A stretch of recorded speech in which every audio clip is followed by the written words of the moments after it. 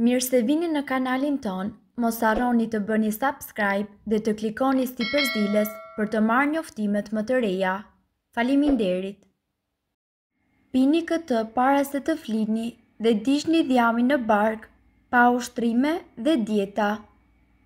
Nëse keni vendosur të humbni peshë, por thjesht nuk keni kohë të mjaftueshme për ushtrime të rregullta fizike, atëherë kjo pije magjike do të bëjë mrekulli në belin tuaj.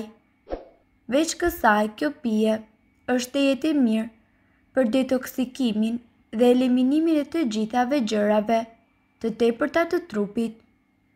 është përmirësues i mahnitshëm i energjisë, i cili jo vetëm që e përmirëson shëndetin, por edhe rrit disponimin. Kjo pije është dëshmuar se e shpejton dhe metabolizmin, gjë e cila rrjedhimisht shpie në humbjen e peshës. Sidoqoftë, gjëja më e mirë e kësaj pije është se përgatitet lehtë, është tejet e shëndetshme dhe jep rezultate të dëshirueshme në një kohë shumë të shkurtër. Përbërësit janë gjysmë limoni, një kastravec, një xhenxhefil të prerë, një tufë majdanoz dhe një e treta ujë. Të gjithë përbërësit i futni në një blender dhe i përzieni derisa ta fitoni lëngun e dëshirueshëm. Këtë lëng e konsumoni çdo natë para se të flini. Nëse doni të bini nga pesha, Majdanozi është zgjidhja e menjëhershme e mëngjesit. Lëngu i përgatitur nga majdanozi është konsideruar si një ndër recetat më të mira për ta nisur ditën. Sidomos nëse je në grupin e atyre njerëzve që duan të bien nga pesha në një kohë të shkurtër. Rezultatet e kësaj përzierjeje kanë arritur edhe në eliminimin e 3 kg në 5 ditë Lëngu i freskët nga majdanozi është i pasur me përbërës që ndihmojnë qarkullimin e oksigjenit në organizëm dhe nevojitet për funksionimin normal të gjëndrave të veshkës dhe tiroideve. Majdanozi është i shkëlqyeshëm edhe kundër gurëve në veshka, por gjithashtu ndikon edhe tek shëndeti i syve. Kur flasim për humbjen në peshë, është i përdorshëm nëse kombinohet me lëngjet e tjera. Mbi të gjitha, është një recetë shumë e thjeshtë që mund ta përgatisësh në vetëm pak minuta. Përbërësit janë një tufë majdanozi, një kokërr limon, Një mollë dhe ujë. Përgatitja, Shtrydhni lëngun e limonit dhe në blender shto majdanozin, mollën dhe ujin. Përzieni për pak sekonda dhe lëngu është gati. Rekomandohet çdo mëngjes për pesë ditë. Më pas bëj dhjetë ditë pushim dhe rinise edhe për pesë ditë të tjera. Duhet të kini kujdes. Lëngu i majdanozit, kur përdoret për humbjen në peshë, është i përdorshëm nëse kombinohet me lëngjet e tjera. Dieta me ujë për dobësim të shpejtë, hiqni nga gjysmë kilogrami në ditë. Në dietën me ujë mund të hiqni nga gjysmë kilogrami në ditë. Megjithatë, kjo guxon të bëhet çdo të dytën ditë dhe jo në periudhë të gjata, por kohë pas kohe.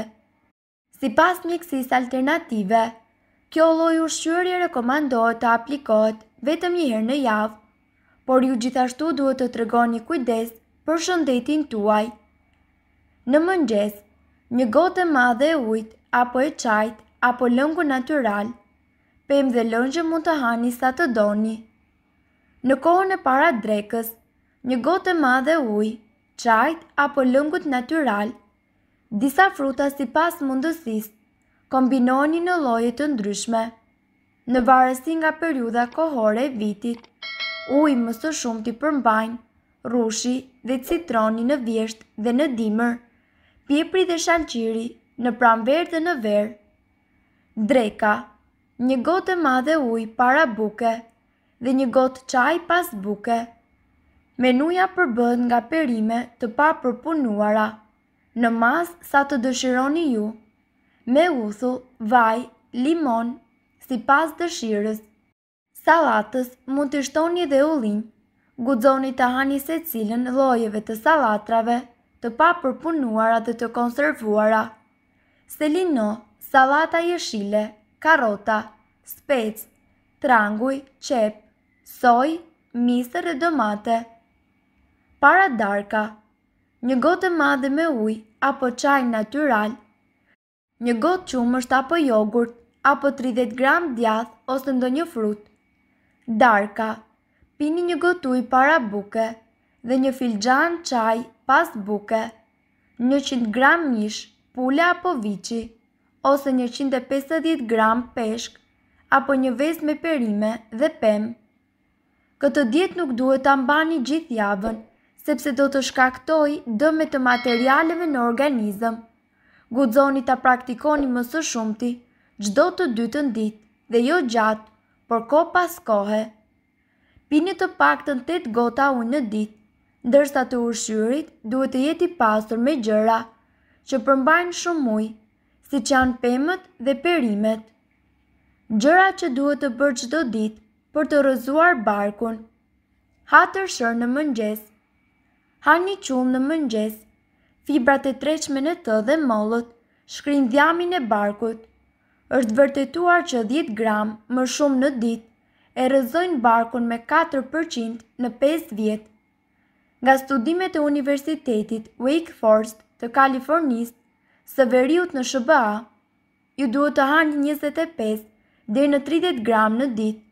Keni parasysh që një pako me tërshërë të gatshme ka vetëm 3 gram fibra të tretshme dhe një pako me fruta pylli 4 gram. Pi pa kursim çaj jeshil. Pjesëmarrësit në një studim që bënin ushtrime dhe pinin dy filxhanë çaj jeshil më shumë në ditë, humbën në gjashtë muaj më shumë dhjamë në pjesën e barkut se sa ata që nuk pinin asnjë filxhan çaj. Hani fruta të thata dhe vajra me acide yndyrore. Mos e hiq vajin nga sallata. Acidet yndyrore, mono të pangopura dhe ato poli të pangopura që gjenden në disa vajra dhe fruta të thata, mund të ndihmojnë të qëndrosh elegante. Në një studim, njerëzit rezistentë ndaj insulinës që kishin një dietë të pasur, nuk kishin fatin e atyre me dietë të pasur me karbohidrate, të cilët e shihnin dhjamit të zhvendosej drejt barkut. Përfshini në dietë yndyrnat bimore, si dy lugë gjalpë bajame një çerek avokado ose hidh i sallatës një lugë vaj ulliri çdo vakt. Bëj një ecje të shpejtë. Pak ushtrime bashkë me dietën e shëndetshme janë çelësi i suksesit. Por nuk mjafton që thjesht të bësh nja dy hapa në lagje. Çelësi i vërtetë për të djegur dhjamin rreth barkut është të shpejtosh ritmin. Studiuesit kanë gjetur që gratë që bënin tridhjetë minuta ecje të shpejtë dhe dy seanca qetësuese ecjesh në javë, digjnin gjashtë herë më shumë dhjamra të barkut sesa ato që thjesht bënin shëtitje pesë ditë në javë. Ha shumë kos. Ha një kos në vaktet e ndërmjetme. Bulmetrat ndihmon të mbash muskujt dhe të depozitosh më pak dhjam. E ka thënë dietologët e Universitetit të Tenesis. Nga një studim ku hanin treqind e pesëdhjetë gram kos pa yndyrë çdo vakt dhe humbën tetëdhjetë e një për qind më shumë dhjam rreth zonës të barkut sesa ata që thjesht ulën numrin e kalorive. Rritja e kalciumit minimizon kalicitrolin, një hormon që nxit depozitimin e dhjamit. Bëj ca shtrirje qetësuese. Para darkës, ulu pesë minuta për ta lënë stresin e ditës të largohet. Hiq telefonin, bëj pak stretching. Ushqimi rrit insulinën, stresi rrit sasinë e kortizolit. Kur rriten, këto dy hormone bashkëpunojnë për të grumbulluar kalori në formën e dhjamit të barkut. Në një studim, ata që hanin të stresuar shfaqnin nivele të larta insuline dhe kortizoli dhe fitonin më shumë peshë se sa ata që nuk hanin kur kishin ankth. Nëse doni të dëgjoni video tona që ne postojmë çdo ditë, kliko subscribe Ju ftojmë gjithashtu të bëni like në video tona nëse i keni dëgjuar dhe pëlqyer ato. Faleminderit që e patë videon tonë!